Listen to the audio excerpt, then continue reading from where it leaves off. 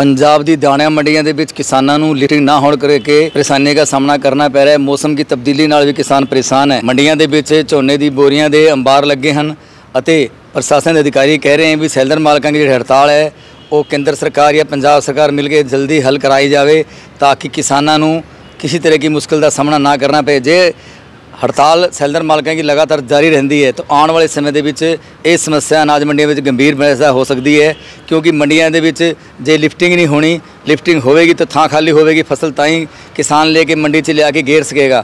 ਉੱਪਰ ਤੋਂ ਕਿਸਾਨਾਂ ਨੂੰ ਮੌਸਮ ਦੀ ਜਿਹੜੀ ਮਾਰ ਪੈ ਰਹੀ ਹੈ, ਉਸ ਦੇ ਨਾਲ ਵੀ ਕਿਸਾਨ ਪਰੇਸ਼ਾਨ ਹੈ। ਹੁਣ ਸਰਕਾਰ ਇਸ ਮਸਲੇ ਨੂੰ ਕਿਸ ਤਰ੍ਹਾਂ ਹੱਲ ਕਰਦੀ ਹੈ ਇਸ ਸਮੇਂ ਦੱਸਦਾ ਹੈ। ਲੇਕਿਨ ਇਸ ਸਮੇਂ ਮੰਡੀਆਂ ਦੇ ਵਿੱਚ ਝੋਨੇ ਦੇ ਢੇਰ ਲੱਗੇ ਹੈ। ਸਮਾਣਾ ਕੀ ਅਨਾਜ ਮੰਡੀ 'ਚ ਖੜੇ ਹਾਂ ਅਸੀਂ? ਮੇਰਾ ਨਾਮ ਜੀ ਗੁਰਿੰਦਰ ਸਿੰਘ। ਗੁਰਿੰਦਰ ਸਿੰਘ ਜੀ ਕੀ ਸਮੱਸਿਆ ਆ ਰਹੀ ਹੈ? ਸਮੱਸਿਆ 4 ਦਿਨ ਹੋ ਗਏ ਕੋਈ ਬੋਲੀ ਨਹੀਂ ਆਈ 1509 ਲੈ ਕੇ ਆਏ ਹਾਂ।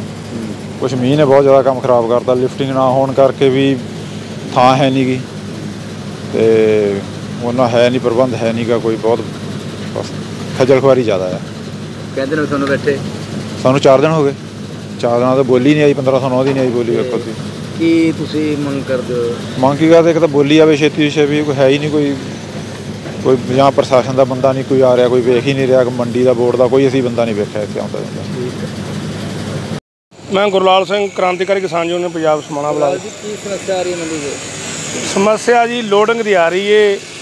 ਆ ਵੇਖੋ ਬਾਰਿਸ਼ ਪੈ ਕੇ ਹਟੀ ਏ ਉਦੋਂ ਪਹਿਲਾਂ ਦੀਆਂ ਬੋਰੀਆਂ ਪਈਆਂ ਨੇ।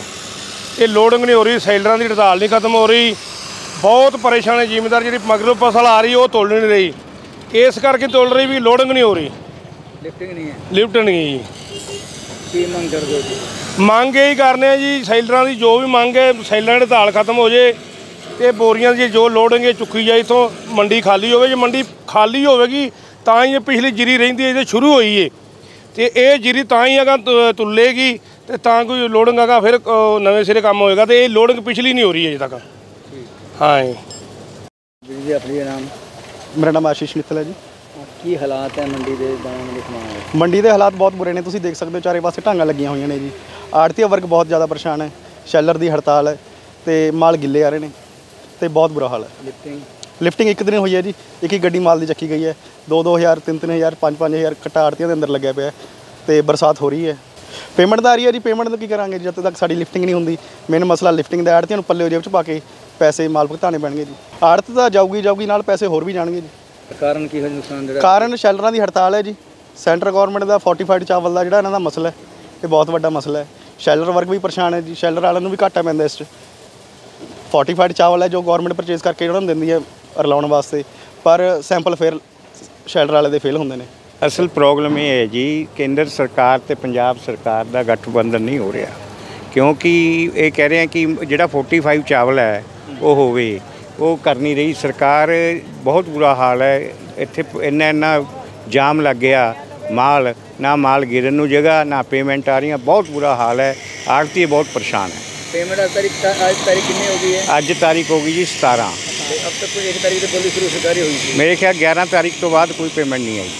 11 ਜਾਂ 12 ਤੋਂ ਬਾਅਦ। ਲਿਫਟਿੰਗ ਦੀ ਬਹੁਤ ਸਮੱਸਿਆ ਹਲੇ ਤੱਕ ਇੱਕ ਵੀ ਗੱਡੀ ਲੋਡ ਨਹੀਂ ਹੋਈ। ਜਿਹੜੀਆਂ ਸ਼ੁਰੂ ਚ ਹੋ ਗਈਆਂ ਹੋ ਗਈਆਂ। ਕਿੰਨਾ ਪਲ ਮੰਡੀ ਤੇ ਹੋਣਾ ਬਹੁਤ ਮਾਲ ਪਿਆ, ਸਾਰੀ ਮੰਡੀ ਭਰੀ ਪਈ ਅਣਗਿਣਤ ਮਾਲ ਪਿਆ।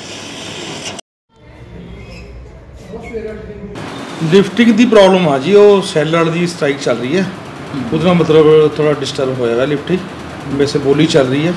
ਬੋਲੀ 'ਚ ਕੋਈ ਦਿੱਕਤ ਨਹੀਂ ਆ ਰਹੀ, ਲੇਬਰ ਵੀ ਆਪਣਾ ਕੰਮ ਕਰ ਰਹੀ ਹੈ। ਤੇ ਸਰਕਾਰ ਨਾਲ ਇਹਨਾਂ ਦੀ ਗੱਲ ਚੱਲ ਰਹੀ ਹੈ, ਦੇਖੋ ਸ਼ਾਇਦ ਅੱਜ ਜਾਂ ਕੱਲ੍ਹ 'ਚ ਇਹਨਾਂ ਦਾ ਮਤਲਬ ਪੈਚਅਪ ਹੋ ਜੇ ਇਸ ਗੱਲ ਨਾਲ।